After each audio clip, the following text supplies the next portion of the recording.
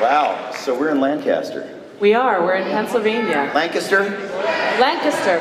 I don't know how to say anything. I don't talk for a living. Come on. I went to college at Bucknell University in Lewisburg, Pennsylvania. So this is uh, it's wonderful, wonderful to be back in PA again. I'm very, very honored to be here. I ain't never been here before, so be nice. You guys have the best pickles in the world. I swear to goodness. Yeah, your Pickles. market rocks. Oh my gosh, pickles and pretzels. I'm never leaving. I mean, Really, she might leave me for your pickles. So. that didn't sound right. I'm sorry. and yet there's an ounce of truth to that. I have to. So, for does anybody here not know who we are? It's okay if you don't. You can raise your hand. You just came in here for a nice nap. It's all good. Yay! All right, honestly, Yay. love that. Woohoo! So for you, sir, we are voice actors, and she's a director and a Yeah. singer, and she does a million other things. She's probably a brain surgeon too. I only know how to voice act. Yes. Uh, based in Los Angeles, and we've been doing it for 25, 30 years. like And what have you worked on, Mr. Blum? Well, together we worked on Cowboy Bebop. Yeah. And for those of you who don't know, Mary was my director on that show. Yeah. It was her first directing gig and it was my first leading role. And she played Julia on the show to my I was so in love with Spike. I was like, if we ever hear or see this Julia person, I'm playing her. And then we've been friends for like 18 years and uh, we got together as a couple three years ago. So,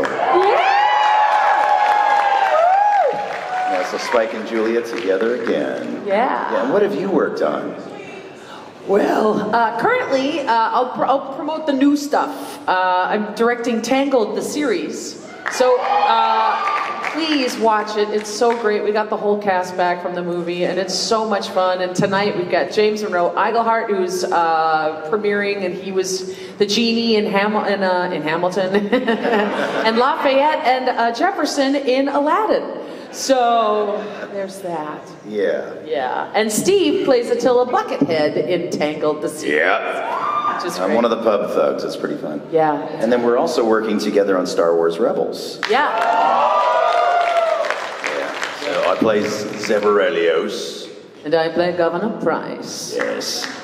And she's evil, don't cross her. She has no redeeming qualities whatsoever. I'm not kidding. Which is why I kind terrible. of like you. It's terrible. I appreciate that in a woman. All We were right. talking with Dave Filoni, and I said, "What what redeeming char- uh, characteristics or qualities does she have?" And he's like, "None. You have none. none at all. Thrawn loves art. You love power." Yeah, she's pure evil. I get to play stormtroopers though, so I play for that side too. It's all good. know. We have a very clean understanding. Yeah, but this is an anime con, and we've done a lot of anime. We sort of cut our teeth in the industry on anime, Yes. uh, starting with Cowboy Bebop. And. I think then the next series we did was close to Wolf's Rain. Wolf's Rain? Or Digimon. Yeah. I played, I directed it, and uh, I, I kind of stalked Steve over the years in terms of casting, because every time, like he was uh, cast as Lord Darcia, and I was like, well, maybe I should play Lady Jagara, you know, so that we could always be opposite each other. which was Yeah. really fun. And then Digimon, we did. Oh, I love Digimon. Any Digimon fans? Yeah, Digi-Evolution. Yeah, so I directed that show for a number of years, and You played a bunch of Mons too. I was ev like every mon that we couldn't find someone for. They just, I just jumped in the booth. So I, eventually I took over for Gatomon and lots of mons. Mon mon Shik Shikomon. Very strange mon.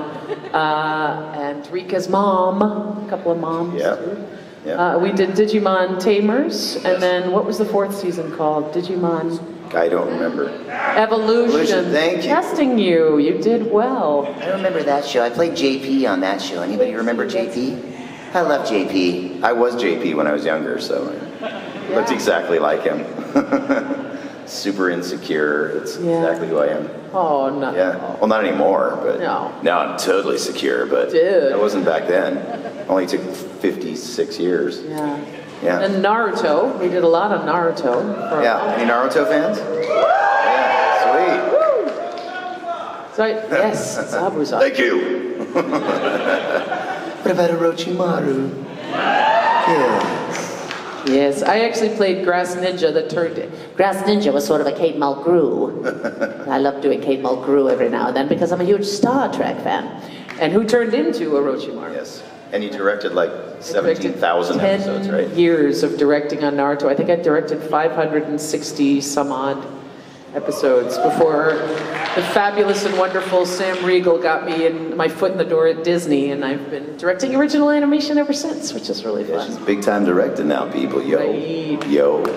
And I play D and D every now and then too.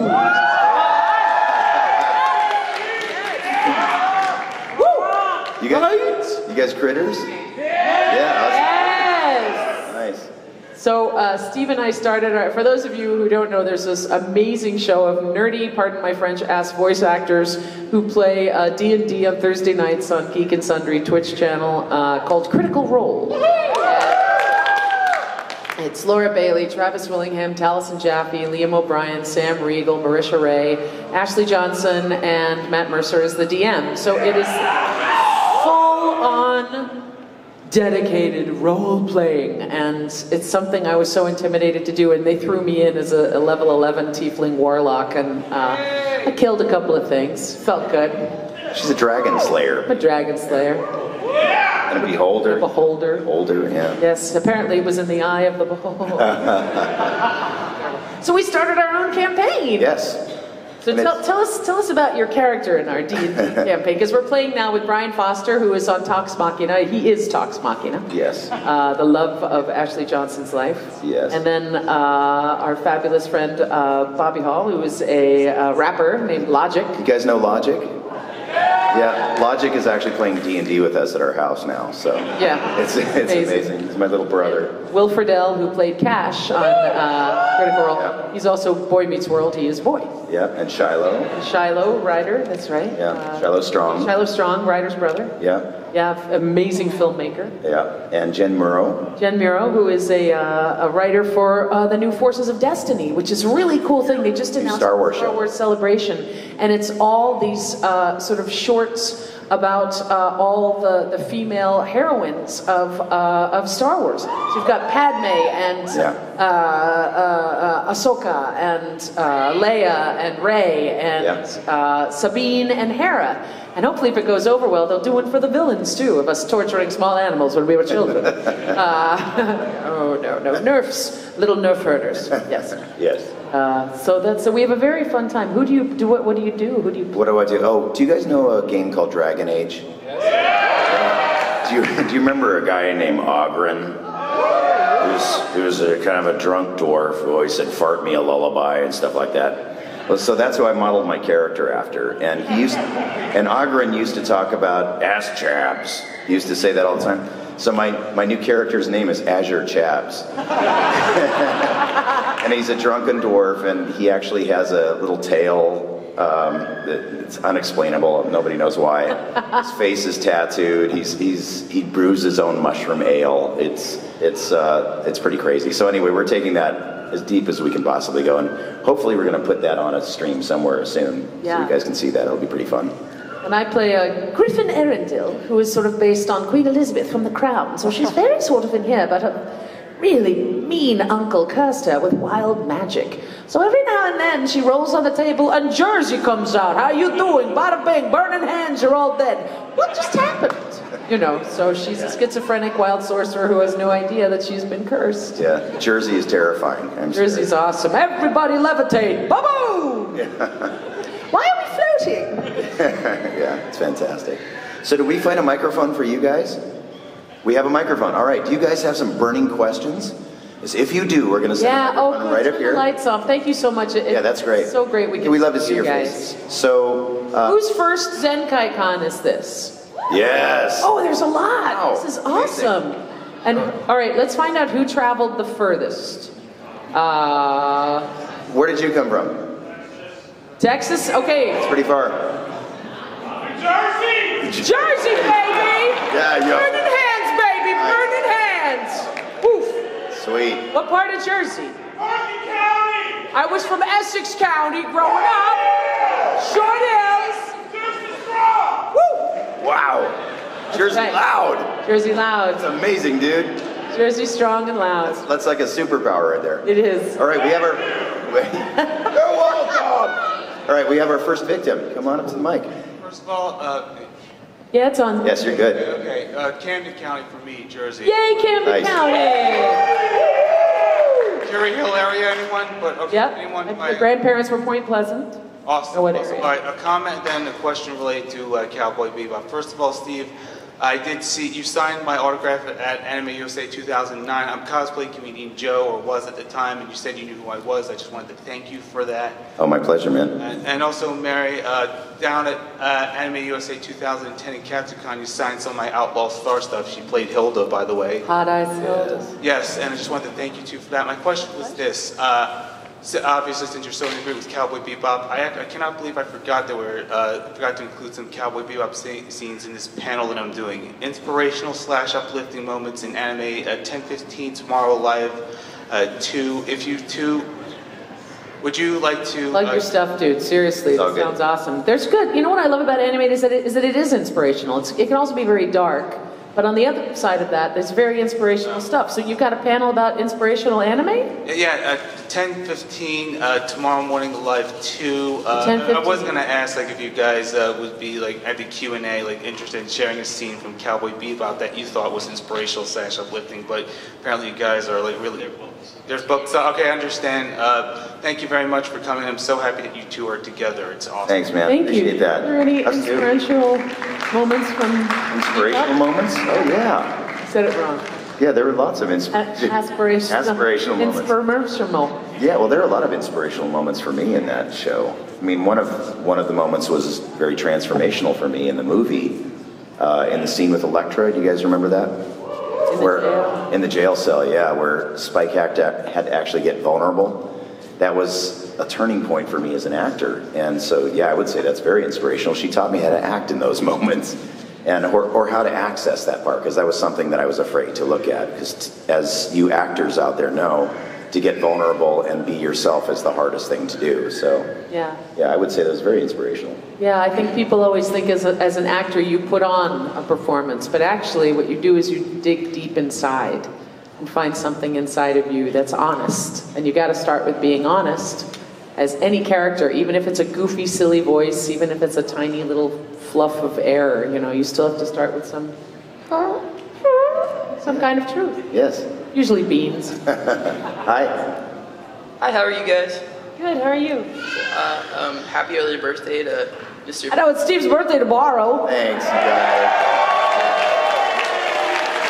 I'm four years old. He's Four years old.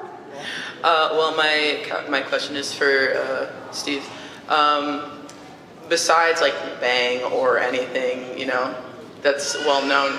Uh, do you have a personal favorite quote of Spike's? Yes, I do. Can I hear it? Yes, you can. I love the kind of woman that can kick my ass. Go on, live with one. Yes, can. Thank you. Thank you.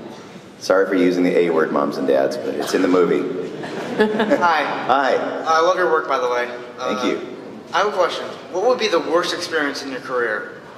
The worst Experience in our career. Oh. traffic. Traffic. Actually, it was one of the last auditions I had for on camera.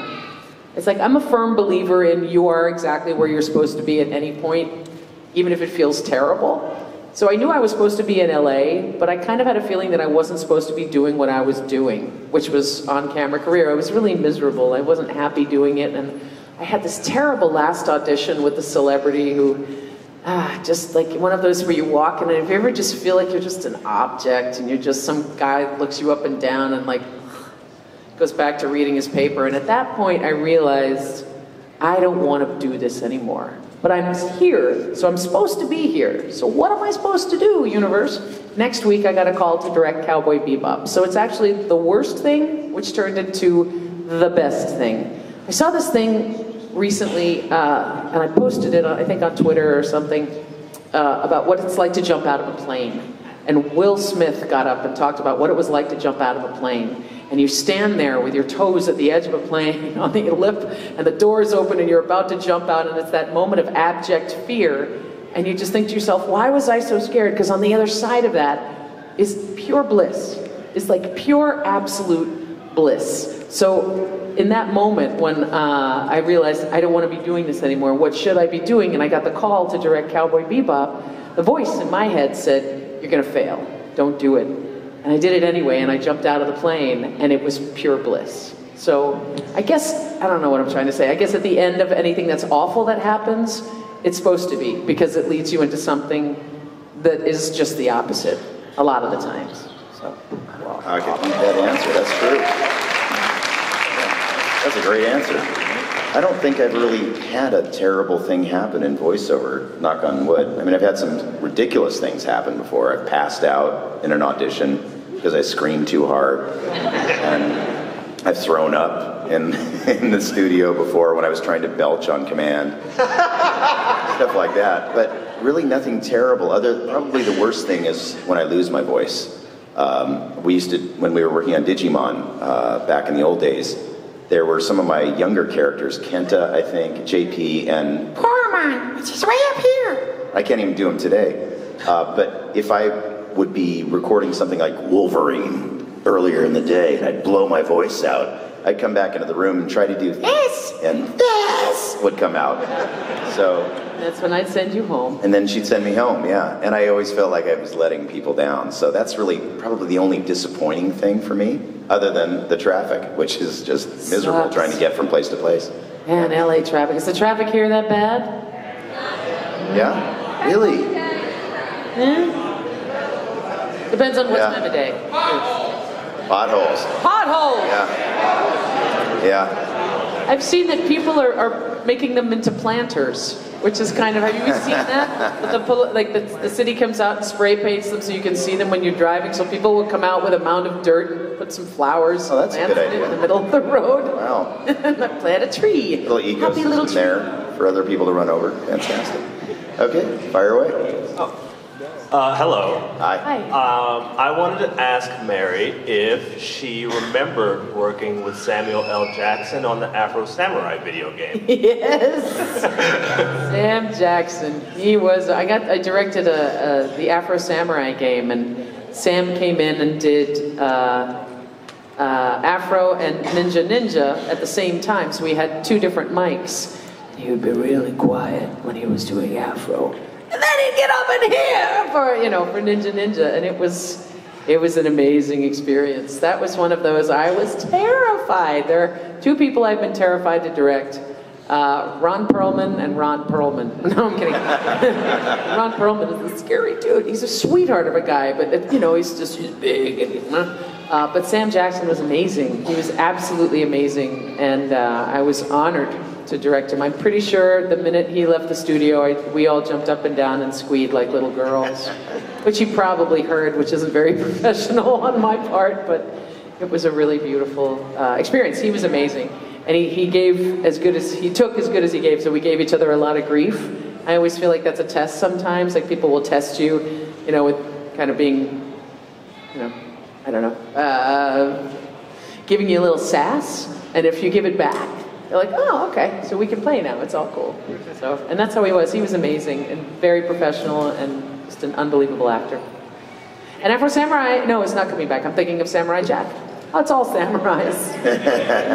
and we've been flying a lot lately, so. It's been brought to our attention that this was actually billed as a uh, viewing of Cowboy Bebop with commentary. I wanted to see if you wanted to pause and do that for an episode, or you want to continue with Q and A.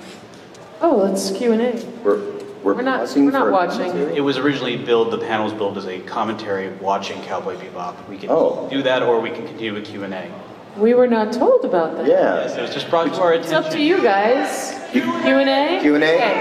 All right. Thanks, Jersey. Jersey says Q and A. Bergen County says Q and A, so we're gonna burn in hands Q and A. Burn in hands. Q and A it is. You guys win. All right, guys. hey, How you guys doing? really well. How are Good. you? How are you?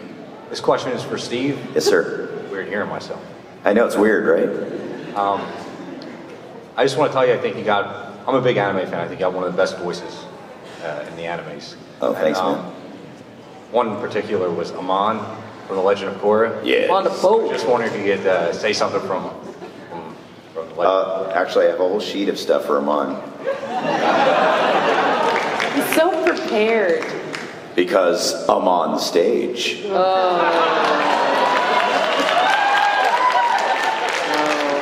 I'm on a quest for equality. I'm on a boat. I'm on a bender. I'm on a tight schedule. My favorite dessert? Chocolate almonds. No, I'm sorry, I'm unable to answer that. no. I'm opening up a new spiritual center on Air Temple Island, simply called a monastery. Benders hate the first day of the week. Why? Because it's a Monday. Why the mask? Amonimity, of course.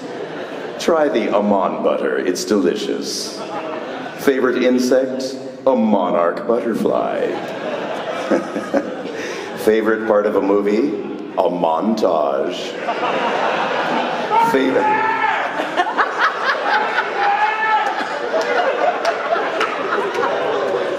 All right, that's enough. You've been purified. Thanks a lot, man. Jersey just fried me right off the stage. guys killed me. Oh. and I hot. Well, it's an honor to both meet the major and Ogren. Oh, thank you. It's like, but it's like, I guess, like, well, I'm more a Steve fan because I love uh, Dragon Age and Ogren. I always take him any quest. Oh, thanks, pal. But I, this Look out for nug humpers. stupid nug number. Oh, it's all right. But this for Steve. I, this for Ogren. So, did you ever get your pants back from the dog? Did I get my pants back? Yeah. No, they ate my eyes. Didn't get your pants because they ate your eyes? Yes, it's a thing. The song. It's all about the Schliets, right? Oh, the dog. I, Yeah, sh- I, sh- I shit the Schliets, the sheets are slit. exactly. I ramble. I can't help it. Hi. Good evening. Good Good evening. evening. Uh, first of all, I just want to say that there's no question in my mind that Cowboy Bebop will be required watching for any serious anime fan in the next 20, 40, 60 years. This is absolutely going to be, if you want to be Wow, thank serious anime fan or historian or anything, consider yourself knowledgeable, you will have to be familiar with this particular series. Uh, there are obviously a number of attributes of Cowboy Bebop that's contributed to this. Certainly the uh, the art, the uh, plot development, the character, uh, voice acting, all have done this. But there's one aspect of it that I think has been really overlooked, and I think it actually has also contributed to its uniqueness, and that is its soundtrack. Oh, the music, Yes, music uh, it is absolutely still uh, very unique in my opinion. So the question for both of you, if you can answer it first, what led, what artistic decisions led to the use of a jazz soundtrack, which at that time was very revolutionary, and uh, and it did a, a wonderful job of setting, in my in my mind, the emotional tone of the series. And the second is, why has this soundtrack approach not been adopted more widely by other anime series? Because I have always felt that this was a very effective uh, soundtrack approach, and yet for whatever reason, it's not been emulated very much at all, at least to my knowledge. Yeah. I think that'd be up to, I mean, to really answer your question, that was all Yoko Kanno and that was all her. And we were just, we got it done already. And with the music in there, I have every CD ever made from this series. I love the music so much. I continue to listen to it today.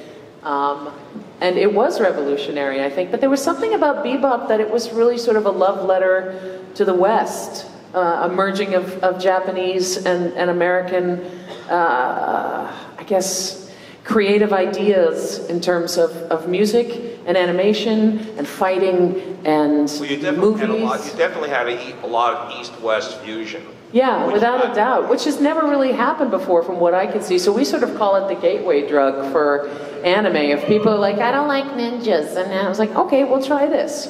because there's an episode that is basically combined Alien with 2001, and you've got this completely symphonic uh, soundtrack as well as the jazz and everything else. I mean, it's not just the jazz that she did.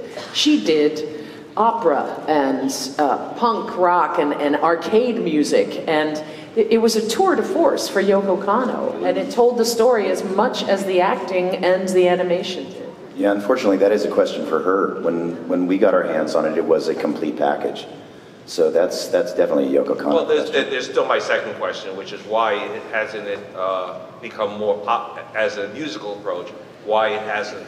I think it depends on the project, you know? I mean, if there's a lot of, I don't think it would work for Attack on Titan. I don't think it would work for uh, Death Note or, you know, unfortunately, I'm not up on the newer anime right now, but it seems to me that it really sort of depends on the world and there aren't that many worlds of anime where you end up in a casino you end up with a you know a costume party where it's i mean it, it's it was a really unique piece and i think because of that the, the music reflected that so i'm not sure why people don't do it I've been asking that question for years too, and I listen to the soundtrack in my car all the time. So it certainly wasn't overlooked by us. We were very aware of how awesome that was. yeah Thank you. thank you Hi, uh, big fans. Um, I loved you in Transformers Prime as Starscream. Oh, thank you. You still have to call me Lord. Of course. and I loved you as Zahra. Uh, my question. Thank you, darling. I was wondering if Zahra would ever come back to Critical Role, and Steve, if you had any thoughts of joining the show, even for a one-off. I'd love it if Zahra came back. She's fabulous. I think she's tired. I think after slaying the dragon and the beholder, I think she's rather tired. And she's, she's, she's been put here to do research to see whether or not this world is actually worth saving. So we'll see. You know, I, I think I came up with an idea today of what she would be doing after the time jump. Uh, Chris, if Chris is here, it's going to be thanks to Chris. He was standing in front of me and I came up with this idea. So I'm going to run it by Matt if he ever wants us back on, which I hope he does. Will and I are like, come on, man. Get us back on the show, man. So tweet Matt Mercer and get us back on the show. Yeah.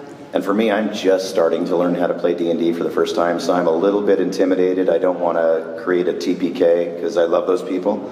Um, I'm just afraid I'm going to make some terrible mistake.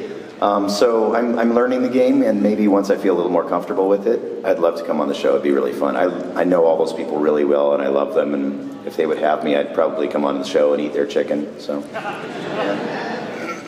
Thank you. No secrets. Come on. No secrets, Al. Come on. Spike Spiegel. Nice. Hi. Um, so I think Cowboy Bebop is one of my favorite anime series. Um, and as a voice actor, your voice is just great. And I think if you were to define cool, it would be Spike Spiegel. I agree.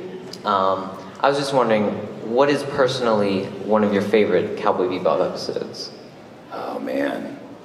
Well, I love them all for different reasons. Lately, I've been thinking about uh, Toys in the Attic. Yeah. We've, um, just because it was so weird, and we've done that as a live reading. Um, and Mushroom Samba, just because it was also so bizarre. Seriously. But I love them all for different reasons. I mean, so many of them are standalone anyway. Um, uh, the one with the uh, the move, moving like water. I don't remember what the, the name of that episode was. Th- yes, thank you. Whilst, yeah, Yeah. Tommy was, uh, was, were you were, like, you had the apprentice? Yeah, we yeah, I had The Apprentice, and we were doing the Bruce Lee kind of moves. I thought that was amazing because I'm a Bruce Lee fan. So, so many amazing moments in that, and the movie is probably my favorite of all. I just I love the way the movie played, beginning to end. It's awesome. I love Pierrot le Fou, too. Yes. Oh, man. Pierre- He he freaked me out. It was so scary. And I, I actually came up with that line at the end, man, I hate theme parks. Only because I had worked at one, and I was, I don't know why I love theme parks, but I just thought that Spike would hate it. Yeah. No, Spike would hate theme parks, especially after that. Yeah. We also came up with that shit take on ice at the Yes. end of Mushroom Samba, which was, And got away with it. and got away with it because it's shiitake mushrooms. Right. It's all in the Well, pronunciation. thank you for watching the show. I appreciate it, man. Thank you. All right. Hello. Hi. Hello. I actually have a request for Steve. Do the voice. Uh, so there were so many amazing scenes in Cowboy Bebop, and there was one that I found like really hilarious. Is when Spike is talking to Jet about how the three things that he hates. Could you possibly do that? I'm going to my cheat sheet. I know this one, but I'm going to read it anyway, just because I want to get it right. All right. Jet, you know there are three things that I particularly hate kids, animals, and women with attitudes. So tell me, Jet, why do we have all three of them neatly gathered on our ship? Thank you. One of my favorite ones, too. I love that. If, if you two, since you two are married, uh, can we write slash fics about you people now? We're not we're not married yet. My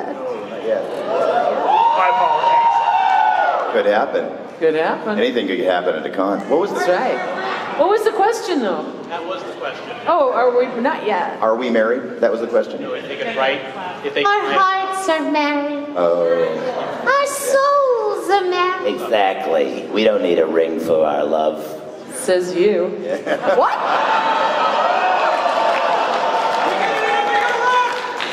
You're not kidding, pal. Out of Wow. New Jersey. Oh. Hello. How are you? So, uh, first of all, I want to say that it's a pleasure to meet both of you. I've researched you for a long time. I know about you. I've been Steve. I've been a fan of yours since Digimon from Gurren Lagann all the way up till now. Oh, thanks, hon. When you screw it in, give it a hard manly twist. I actually do a pretty good impression of that. But uh, what I wanted to ask you was what it's like uh, to work on Toonami uh, currently. yeah. Because big fan over here. So we wrote a whole page on Toonami Legacy on our blog. So Oh, nice. yeah. Well, Toonami has been a long, wonderful, winding road, and it's because of you guys that we're back on the air now. So give yourselves a hand for that. Um, it's it's amazing working on it now after all these years because I'm working with mostly the same people. Uh, the same editors are there, the same writers are there. The only person who's left is Sean Akins, who's one of the original creators, but Jason and Gil are still there. And uh, we're actually doing like a little mini tour this year because it's our 20th anniversary. Um, so it's it's more alive and well than it's ever been. We're bringing new shows onto the air and bringing back some old good stuff. And uh, I'm still recording in my home studio every week and over the phone with the guys in Atlanta. Um, but we're still listening to what you guys are saying every week. We want to get your favorite stuff on the air as much as we possibly can. But it, it still has exactly the same feel to me that it did 17 years ago when I started doing this. And I'm so disappointed that Sonny Strait isn't here this weekend. This would have been the opportunity to meet him for the first time in person. Sonny and I have sort of known each other through email and uh, for years, but he's the guy who, well, after Moltar, he was the original Tom. And I just wanted to shake his hand and thank him for that, for starting this journey, you know. And and uh, it's an amazing thing for me, especially to hear the stories from you guys year after year coming to these cons and how the inspirational pieces have gotten people through hard times and these shows have helped people to grow up and, and make it in life that gets a little bit difficult sometimes. So, You're, you're my childhood hero from. oh, dude, The whole speech, the whole speech from the positivity, I listen to it almost all the time. from which one? Positivity. The Oh, positivity is awesome. Yeah. Yeah, I listen to it almost all the time. So you're my childhood hero. Wow, man. I wish I had that one with me. I'd do it live for you, but I don't. So, yeah. Well, if I'm somebody serious, can pull that up on a phone, I'll, I'll do that one live if you like. I've got Fall Down seven times. You guys want to hear that one? Yeah? All right. All right. So here's the deal life doesn't always want to be your friend. Sometimes it'll feel like life wants to hurt you, but you can't just hide. Nobody likes a quitter. You got to take chances. They never said it was going to be fun or easy. Whether it's when you're totally ready or when you least expect it, it doesn't matter. Life will punch you right in the face. Now you can lie there for a second, cry a little if you need to, but get back on your feet. Because it's the getting back up that counts. That's what shows you've got heart. That's what helps keep you going. You fall down seven times, get up eight. And no, we'll be right there with you. Only Toonami on Adult Swim.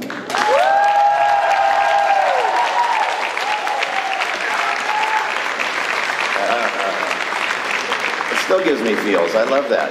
Me too. I mean, talk about something. Who asked the question about you know what's inspirational? That's inspirational. It's Yeah. inspirational. That's and it's a part of anime. It, it ties it all together with Adult Swim and everything. Yeah. That's and we need it now. You know, these are Yep. troubling times sometimes, and you need inspiration to get back up because that's def- that defines who you are. And we got to lift each other back up too, which Yeah. is really important. That's what I love about these cons is that so many of us, I know I did, I felt like I was sort of an outsider growing up. I was bullied and I was really insecure.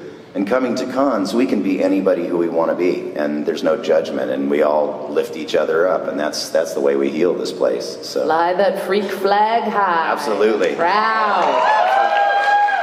I'm proud. All right, Lady Spike, here we go. Three, two, one, let's jam.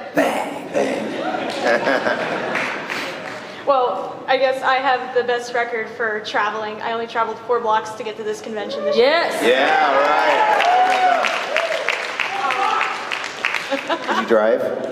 Yeah, I just walked here. Okay. I, li- I live four of you. blocks away. Um, so I didn't know you were doing the, the Tangled series. I'm like super hyped now because I love Disney. I am cra- I'm a crazy nerd. I guess that's why I'm going into film and animation. Awesome. But um, I have a, my question is, is that so? How? What's the difference, like you know, working with like a very like high profile like company like Disney when it comes to putting together cartoons and animations that are from like existing properties that are so big? Because I think the Tangled show is really good. Thank it you. does not get enough credit. It works so well as a TV show, and I think part of it is because the voice acting is so good.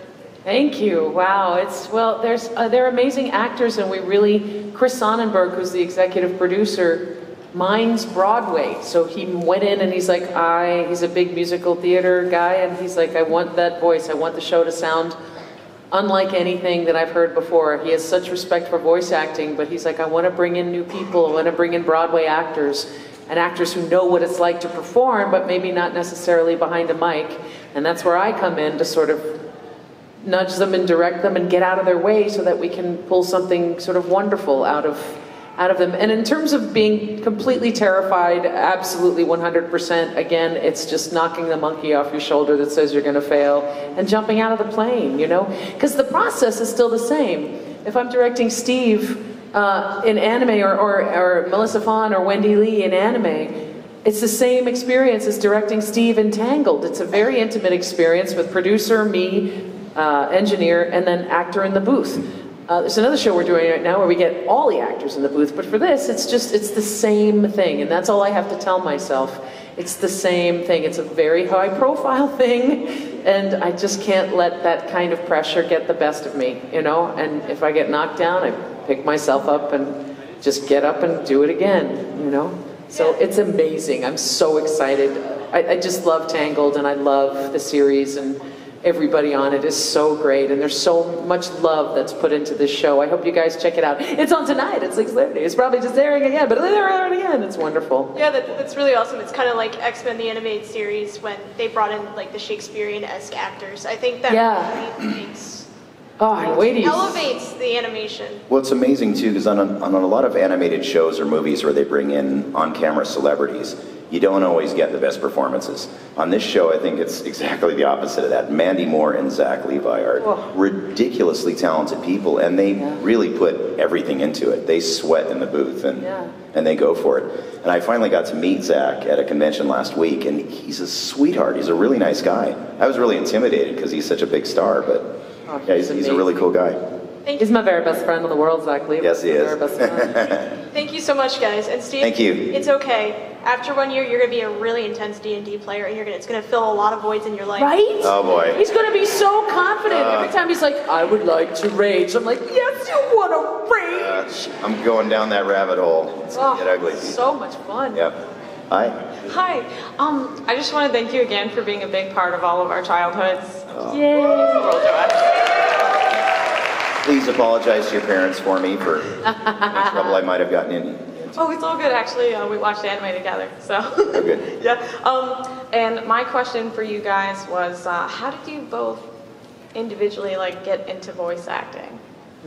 Oh, It's I came at it from the complete opposite way. Yeah. I studied a lot. I went to Bucknell and I got a degree in theater.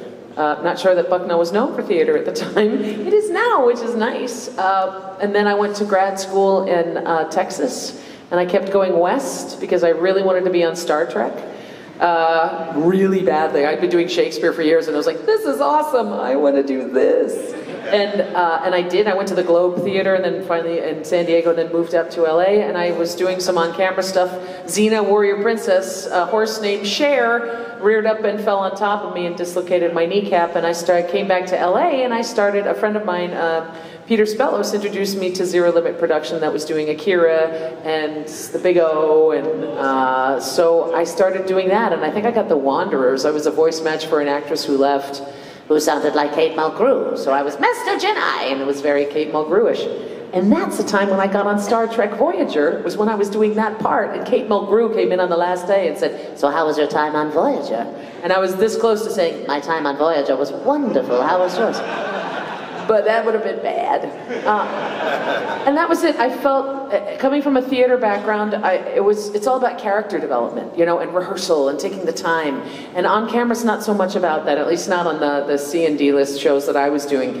Uh, it was about, we're two pages behind, you say your lines right, we're gonna move on. So if you don't like it, screw up. I'm like, oh, okay. So, but with, for some reason, with, with uh, just isolating your voice in a booth was much more creatively satisfying for me. I didn't have to worry about my weight, my anything, you know what I mean, or hitting my mark, or memorizing my lines. I could just go in in a very pure situation and build a character, which I just thought was fantastic. And as a director, it's like, especially with anime, it was like doing one instrument at a time of a huge symphony and seeing where the story goes and the crescendo and where it's going to come down to. So I love the intimacy of voiceover. Plus, it's one of the most generous, amazing communities uh, in Los Angeles. I, I can't really say that for the on camera because my experience of that wasn't that. It was hard. And, and not that it's not supposed to be hard, but it was miserable hard. It wasn't like, this is great, it's hard, and I'm enjoying it. It was this, this is miserable, and I'm, I'm hurting myself by doing this. It just wasn't for me. So the minute I got into voiceover, I was like, oh, this, this is where I belong. This is where I belong. And I got in by accident. I've been doing, I've been like, a, I've been a class clown my whole life and doing ridiculous voices since I was a little boy. I think my journey really started uh, when I got my first answering machine, back in the days when we had answering machines with a cassette tape. And I got this machine, I'm playing around with it, and I thought I did a pretty good Goofy impression. So I just recorded on the thing, or stay can't come to the phone, something silly like that. And I get this wrong number. This guy calls, he calls the wrong number, and I hear him laughing on the message. And he goes, dude, you gotta hear this, and click. And then he calls back a couple minutes later. And I get, I get like 10 calls in a row from this guy, and he's calling all his friends and telling them to call me. And then this goes on for about a week, and then they start telling me to change the voice. So they said, dude, that's getting old, do something else. And I went, Okay, I'll do this voice. so I, so I do, I go through every stupid voice that I thought I did a pretty good job on, and I, I started changing it literally every week. And I didn't think I was going to ever make a living at that, though. I wanted to be a musician. I was playing in an R&B band during the 80s, opening for heavy metal acts, and that was not going well. He had a mullet. I had a mullet. I wore He wore spandex. red netting. Yeah, I shaved half of my head. I wore spandex. Gold I played in a 15 Hammer time pants. stage band. Yeah, it was ridiculous. Um, so to support that habit, I got a day job uh, in a film company working in their mailroom. One of my buddies needed some help in the mailroom and working in a warehouse. And uh, it was called Empire Entertainment. We made movies like Reanimator and Ghoulies and things like that. It was pretty popular at the time. But I didn't know anything about film, didn't really care anything about film. Everybody else in the building was an actor. And the head of the mailroom, a guy named Victor Garcia, needed a deep voice for a Japanimation thing that he was doing on a weekend. So he said, dude, if you try out for this, I'll give you free breakfast and free lunch. And literally, I didn't hear anything about the Japanimation thing. I didn't hear about acting. All I heard was free breakfast and lunch because I was a starving musician. So I decided to give it a try, and I was terrified. I went to the studio. It was literally in a treehouse. Uh, half of it backed up to a, a, a, a cliff, and we called it the cave. It was like dug out, and it was terrible. The sound in there was terrible. We had to lug all the equipment up every day. Uh, nobody knew how to do anime at the time. And they brought in all the actors at the same time, which is not the way you do it. You bring in one actor at a time, otherwise, you can't isolate the sound. So I'm in this room. They show me a picture of this creature called a zoanoid on a show called The Guyver. And they said, All right, so we're going to show you the scene where this creature rips the arm off of another creature and beats him with it, or something like that. And they said, What would that sound like? And they showed me this visual on the screen, and I went, Okay. They said, All right, you're hired.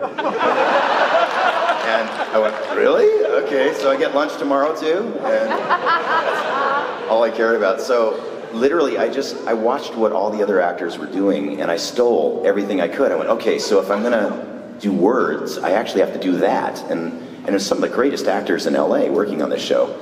And I literally did, through 26 episodes of the show, they eventually gave me a speaking role. I played the main bad guy in the show through 26 episodes of this, watching the other actors and stealing everything they did, I sort of learned how to do the work. And this company, for some stupid reason, kept hiring me. And so I did it on the side for about 15 years. I stayed at that film company. I became an executive at that film company. I was head of marketing. And one day, I, I hated what I was doing because it became very corporate. And I booked a 7 Eleven commercial. I was the guy who said, Oh, thank heaven. I don't know if you guys have 7 Elevens here. Yeah, but I was that guy. And I thought, okay, this is my ticket out. I'm getting out of the film business. I'm going to go into voiceover, and 7 Eleven is going to buy my house. And then the union went on strike. And I was out of work for like a year and a half and supporting myself by credit cards and everything else I could. I was working three jobs, and I had kids by that time.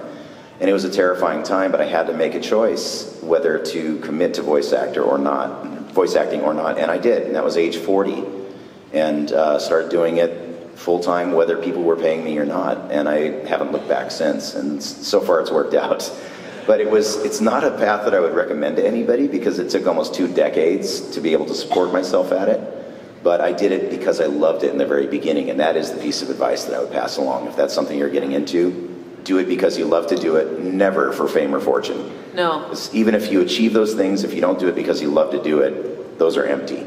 So, Yeah. anyway, it worked out. I got two thumbs up. Is that good advice? Thanks, man. Uh, hi. Hi. Um, okay, I hope I phrase this correctly. Of all the characters out there that you have not voiced yet, who's your number one pick to voice? Of the ones that we haven't voiced? Yes. The Oh. next one we're hired for. Yeah, whatever we're doing on Monday, because it means we're still working. No. For me, it's probably Harvey Fierstein. I love that voice, and I don't get to do it because he's already doing it. He's got the part already. For me, it's Arnold Schwarzenegger because I love him. He's wonderful. He gets to the job on time, and I love him.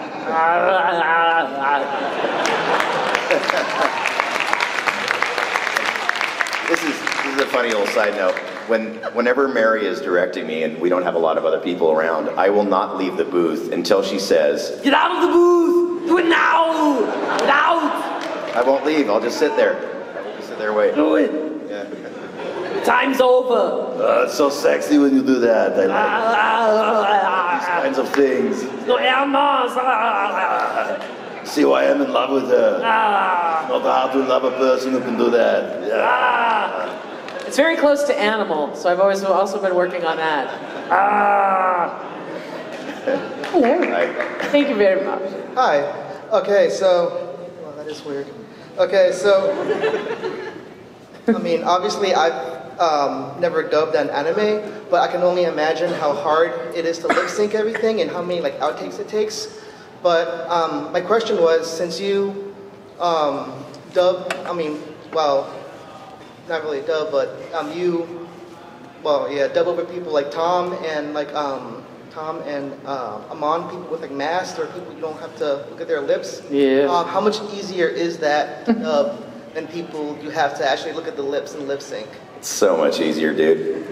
so much easier. Yeah, but you know what? I love the dubbing process. I kind of cut my teeth on it, and I love the challenge of it. So anytime I get to do anime now, I, I love going back into the studio because it, it gets that skill set going and it gets that part of my brain working again that can sometimes atrophy. So I don't mind doing it at all. I love every minute of it. But we can certainly go a lot faster when I don't have to match lip flaps.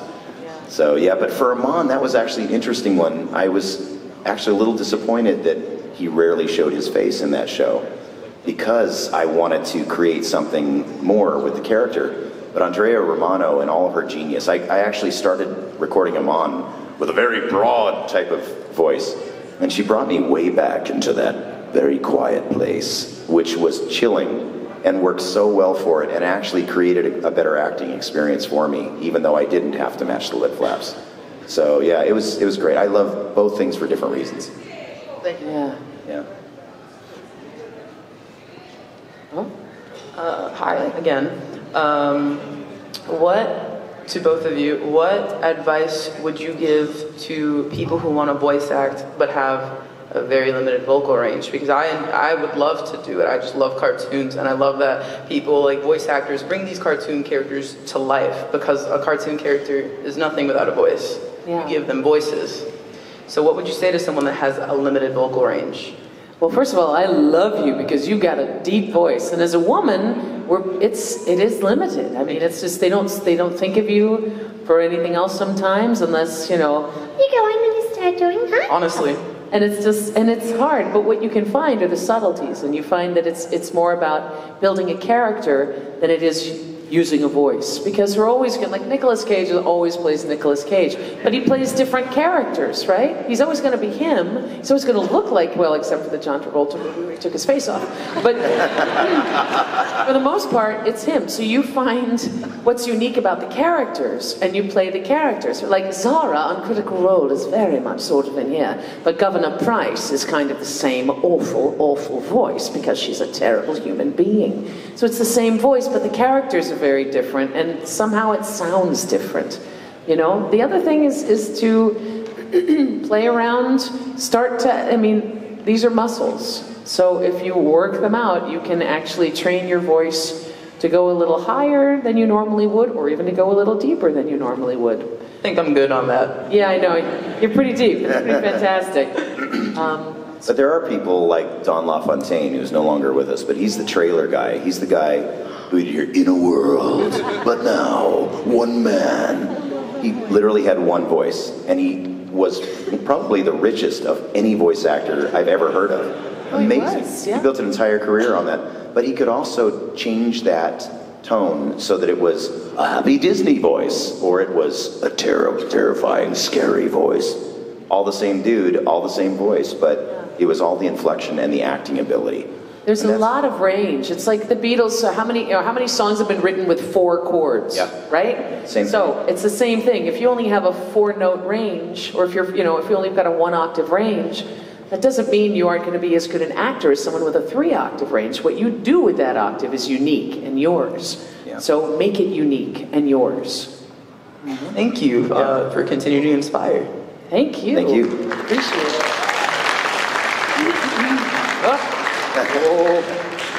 Hey. Hey, how you doing? Hey. Yes, um, you guys are amazing. Um, um, my question is for Steve. Um, during the early 2000s of Toonami, what was it your idea or the producer ideas when they when you first created the uh, "Don't Feel Don't Fear Failure" um, video?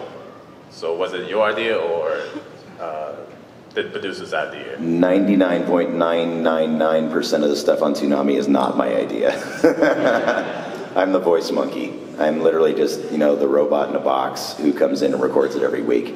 Um, I certainly give my input if I think something isn't flowing right or, you know, I want to add something and they're really cool about letting me do that. But those guys are geniuses. They know exactly what they're doing. They're really in touch with the fan base.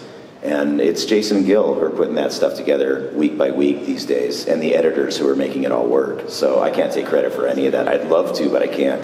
Right. Cool. Yeah, or the video game reviews. 'cause I'm not a gamer, so you know, I, I try to read them as clearly as I can and, and you know create uh, an experience for you guys. But it's basically them on the other end of the phone, and I can hear them tapping on their controllers. I know that they're playing like fiends on the other side, so it's all very authentic. But I'm just the mouthpiece. Cool. Thank you so much. Thanks, man. Only Toonami on Adult Swim. Always plug it when I can. Hey. Hi. Um, I'm a little nervous right now. Aw, don't be. It's all good, dude. Deep cleansing breath. So, Spike, Yes. was it difficult to see you die when you got blasted? Difficult to see Spike get blasted? Yeah. No, man. It's all good. I can take a punch. How many times did he get messed up? Spike got messed up a lot. I mean, on the final episode of Cowboy Bebop. Yeah, but I'm still. But you know what? But you know what? Here's the thing. But here's the thing. Here's the thing. No matter what happened in that final episode, we don't know. Spike is right here with Julia, baby. Yeah. It's all good. It's all good. Thank you. No, I don't mind it though. I, I, I like taking a punch. It's all good. I don't mind if I even go down. It's good. If it if it adds to the story, then I'm there to support the writers. Thanks, man. yes, he does. All right, especially with all the talk with Jersey, I feel like Megas XLR needs. Virgin hands! Uh, I think Megas XLR needs some attention right now. So, do you love giant robots, or do you dig giant robots? Do you dig robots? Chicks dig giant robots. Nice! Yeah! Jersey, you don't make. No, Meg- no Megas XLR? Nice! Exactly. Watch Megas XLR if you haven't, because chicks do jig. Green skin space chicks. yeah, man. Not Gamora. no, not good. Well, sure, she's green skin. Why not? Oh, Hera. Hera's a Yeah, Hera's green skin. Oh, that would just be wrong. Sorry, Hera. She's kind of like mom. That'd be bad. Hi. Hello. Um, my question is for both of you. Have you ever have you ever done method acting or known anyone who's prepared before entering the booth in terms of method acting? Yeah, it happens a lot. It's interesting when you, we get met- method actors uh, who come in and they're like, all right, so we need you running. Okay. Okay, awesome. So plant your feet. And now I need to hear it in the voice. So that's the one thing about um, being a voice actor is that you can like, I've worked with a lot of like um, mocap actors who that's all they did. They were stunt guys and women. And when they were like, it's like, okay, so now we need to hear it. So it's it's it's interesting to, to work with actors who are very method and really get into it and, and uh, and they'll be off mic and the whole time they're doing the scene like that. And I was like, that's brilliant. But it's it's like singing in the rain. It's oh, Poppy, yeah. You know, it's like you got to stay on mic. You know, so there's it's interesting to to sort of teach method actors like you can be as method as you want and do what you need to do to get into character but when it comes down to it there's a very specific technique that you need to have uh, and to utilize as a voice actor which is stay on target you know you've got to talk into the mic and you can't pop everything you know you've got to be able to use a mic and everything else and once you get that then you can be as method as you want as long as you don't get any foley or hitting it or which happens sometimes. It's, there's, there are a lot of physical actors that come in uh, to the booth, and you know, people want to move around, and I'm like, that's great, just stay on mic. Yeah, but you just got to learn how to do it. And you look ridiculous. That's the whole. That's the most difficult thing I think for method actors is to let go of the fear of looking ridiculous. Um, that's something I, I just don't care about, honestly. But like when I'm in a fight scene, for example, uh, I was doing a scene with Fred Tatasciore, who plays the Hulk, and I was playing Wolverine. They actually had to separate us because our arms were flailing so far they thought we were going to knock each other out. So we're throwing punches, but our face is staying perfectly steady on the mic. And so we must look ridiculous. It must look like we're, we're having a seizure or something because you know, the voice is staying the same, but the arms are going all over the place. So it's, it's a skill set. It's just a different skill set. So if you do come in with the method acting thing, you have to pull that back and be able to stay on mic. That's, that's the key thing. That's the most difficult thing of all, I think. And sometimes if it does, then as, as engineers and as, as the studio would then make an adjustment. If someone is never going to be on mic, they're going to put a lavalier, they're going to put some, you know, they're going to mic you multiple ways Yeah. so that you don't have to, so that you can be this. You're like, I just need to talk, man. You know, it's like, you don't have to be focused here sometimes. If there's budget for it, they'll, they'll put it all out there. But at the end of the day, if you clap during a take, we can't use it because the character might not clap, you know? So, does that answer your question? Yeah. Okay, welcome. Good question. Yeah. Hi. Hey, how you guys doing? Good. Hi. Um, I know, Steve, you did a lot of voices for uh, Blizzard from World of Warcraft. Yeah. And I know, Mary, you did a couple as well. Yeah. Um, do you have any voices from uh, from them, from uh, Kama or anything up there? Oh, I've been, I've been directing a lot of Blizzard lately. Yeah. Do we have any voices? Like uh, lines from like a Kama from uh, World of Warcraft? From which character? Uh, a Kama. The, A comma? yeah. Oh, I don't remember a comma. He's the, uh, the, uh, the shaman for the, uh, the goat people. Oh Shaman man. for the goat people. I don't remember. Well, I, I guess. What did he sound like? Do the voice and all. I can't do it. Steve, I'm not you. I remember, uh, I mean, I could do a Crusader line, you know. I pick up my sword and pick up my shield, join my crusade. That's sort of something of what she did. But uh, we've been doing we've been doing the new Necromancer class, so I've been directing that with a number of other people, and um, and we get to work. We get to hear Zoltun Kulle, which is really fun. Which is Steve, who's Zoltun. basically a head in a bag. Yeah. Great. I'm a head in the bag. That I remember. And he was sort of down, and he was great. Yeah, I, I don't remember that one, man. That's terrible. I'm not a gamer either. They're gonna hate me at Blizzard now. I'm so sorry. I, I remember recording a character named Akama, but was it a big character? Yeah, he's huge. Really? Yeah, he's a, really, he's a really good character. I'm really embarrassed now. You know what? I'll work it out, and maybe by the next um, Which panel that we do. It was at World of Warcraft. World of Warcraft. World of Warcraft. And was he like a scary character, an older character? What do you sound No, like? he's like a kind of like a wise shaman who's kind of on your side during a couple side quests. In- Okay, so maybe you can direct me have into that. ac- Now did he you're have my an director. accent? Give me a line that he would have Did said. he have an accent?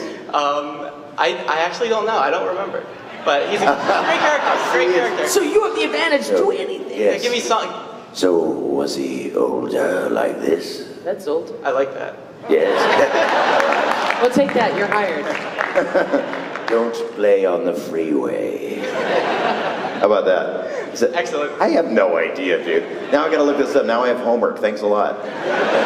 Also play it. Akama, I'm gonna write this down. Ka- a comma. I continue. Talk. It's punctuation. Sorry. That's terrible. From Jersey, what do you want? Hey. Hi, Jersey. Um, I just wanted to say, first of all, that I didn't realize you guys did so many voices in my childhood, like Digimon. I didn't know about that and all the ones. So that was very cool. Thank you. You're welcome. and the other thing was, out of all the roles you've done, which one has stuck with you the most? Like that you remember the most and just worked the hardest on? Gosh, it really depends on the day. What's nice is, you know, with the Ghost in the Shell movie coming out, uh, I've sort of thrust, oh, yeah, out. It's out. I haven't seen it yet, but it's uh, it's burning hands. Burning hands. I have to go switch my spells around. I need to have burning hands now. Um, so the major has sort of come back, which is great into my life, which is awesome. But then directing this new Necromancer series, I'm also going back through the entire uh, playing the Crusader. So it's really fun to sort of like hear somebody else saying the lines that the Crusader said, but tweaked for his character or her character as the Necromancer. But it kind of depends on the day. Right. Uh, and when we come here, it's always Spike and Julia, always, always, always, which is. You guys have been for several years for that? Pardon me? Like you've come for several pan- panels over and over again for this one? Like for Cowboy Bebop? Yeah, we usually end up doing lots of bebop panels. Yeah. Yeah. we I'm do. so sorry that we didn't know that, that, that we're going to be showing a show. Yeah, Which episode were you guys going to show? Okay. Okay, good. Look, we're here for you guys. Oh, good. So, you know, we can all sit in the dark room together and watch a show, or we can talk. I know it's better than talk. We like to see your faces too. I know, it's so You guys are amazing, and your cosplays are ridiculously amazing. By the way, you I guys know. are incredible. Makes me so happy. I love it. Yeah. And I think everybody should wear onesies all the time. Yes. They're not the most comfortable. Seriously. Yeah, you're wearing. Are the onesies not the most comfortable thing ever? Oh, it's a cloak. Oh. It looks like a onesie. Just lie to me. All you have to do is just lie to me. I would totally rock that. So, what, what was the question? Our favorite character? Some of the ones that stuck with you. Oh, something stuck with us. Yeah. Well, Tom, because I do them every week, and I have been for so long. Um, and lately, probably Zeb Orrelios, just because I've been playing him so much lately. That's from which series is that? What Star Wars Rebels. Star Wars Rebels, yeah.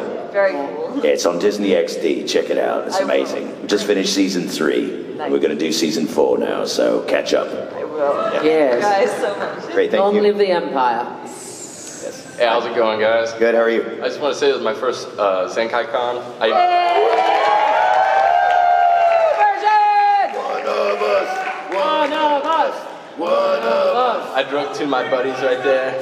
They're right there filming me right now. Hey, nice. Welcome, guys. Nice. I just wanted to say, uh, Steve, I know you played Mugen on Samurai Champloo. Yeah. I just. I just want to ask, uh, since it's such like a unique anime and all that, and I have to show it to a lot of my friends because it's awesome. I just want to know what was it like working on that? I know it's pretty vague, but It was really fun. At first, it was really intimidating because it wasn't too long after Bebop that I was working on that. And I wanted to do something completely different with the voice because it's basically my speaking voice. And they said, No, we wanted this voice. We want you to do this voice. And the whole Japanese crew was there in the room monitoring every single word that I said. So it was a lot more structured than Bebop was. We had a lot more playtime with Bebop. Um, so it was a little more intimidating to do that and to make sure that everybody was happy. That was really my goal, was just to make sure that the, the Japanese client was happy and that it was true to the original Japanese version. So as long as we got that right, I was okay.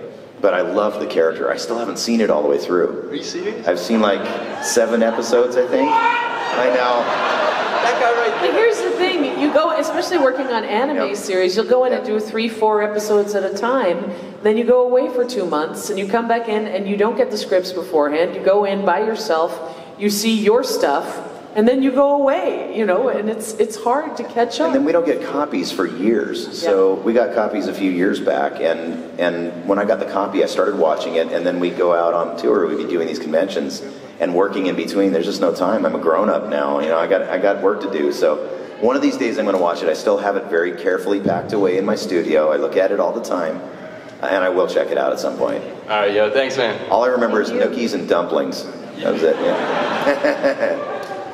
Hey, hey, uh, this is for both of you, but I'm just going to intro through Steve. Um, I know you guys have a huge breadth of work, portfolio-wise, a lot of different characters.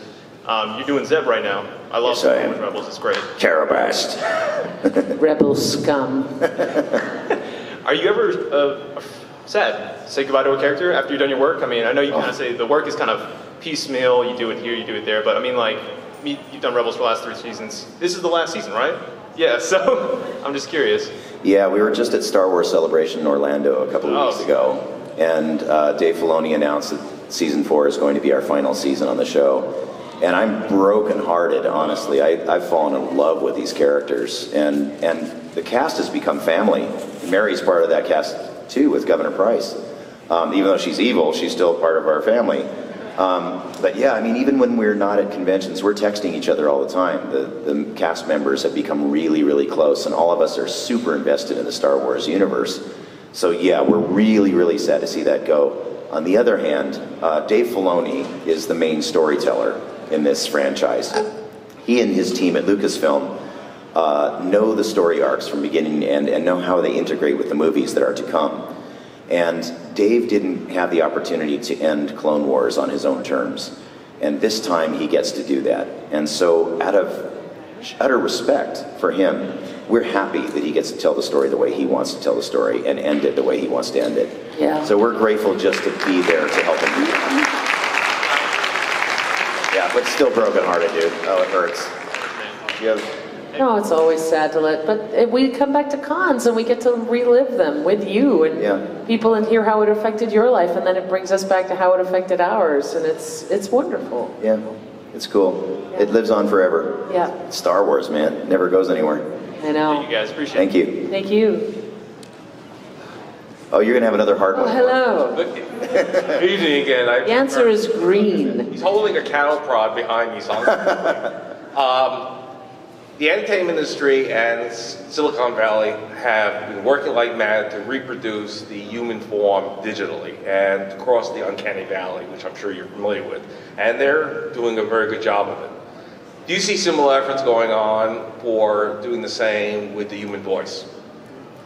Well, the thing about creating the human voice is you can get somebody in there to say every vowel, every consonant, every sound, and record it and then manipulate it. But I call it the fly uh, equation. Uh, when when Jeff Goldblum I'm such a nerd. When Jeff Goldblum took the steak and put it from one pot to the next, and Geena Davis tried it, he said, "What's missing?" She's like, "The flesh. We're missing the flesh." There's a spontaneity to human beings that cannot be calculated. I think.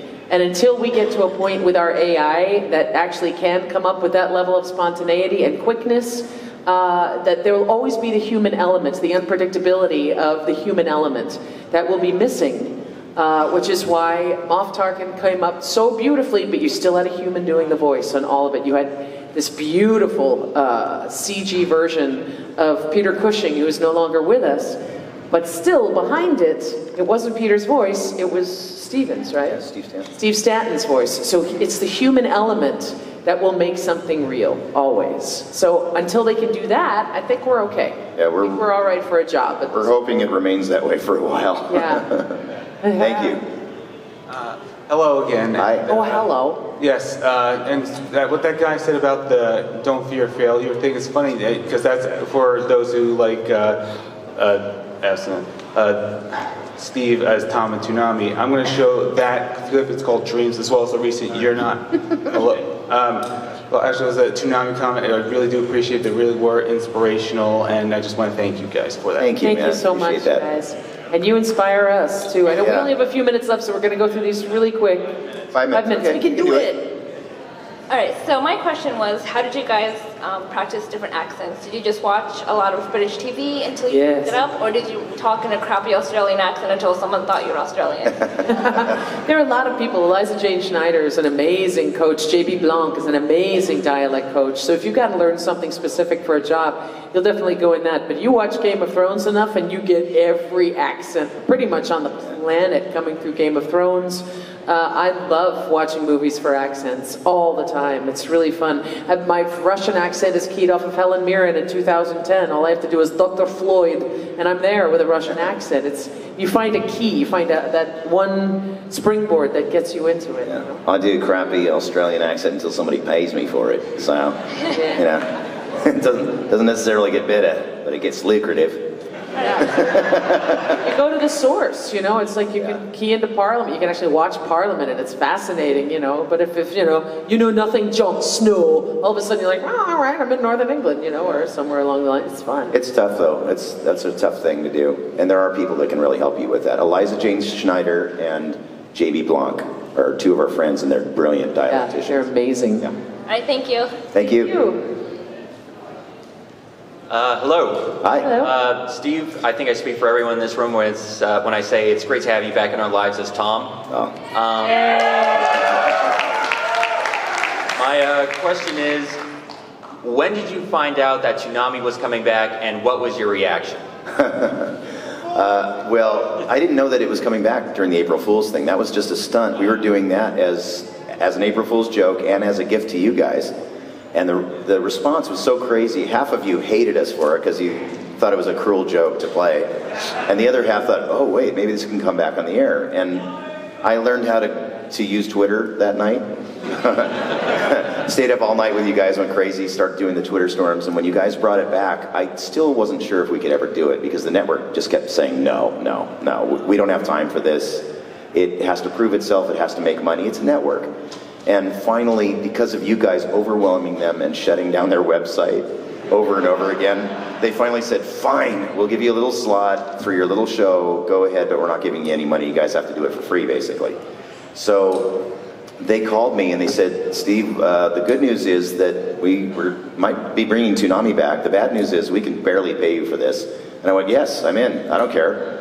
And uh, don't tell my agent that. But, but the first reaction was basically an eight-year-old fanboy squee.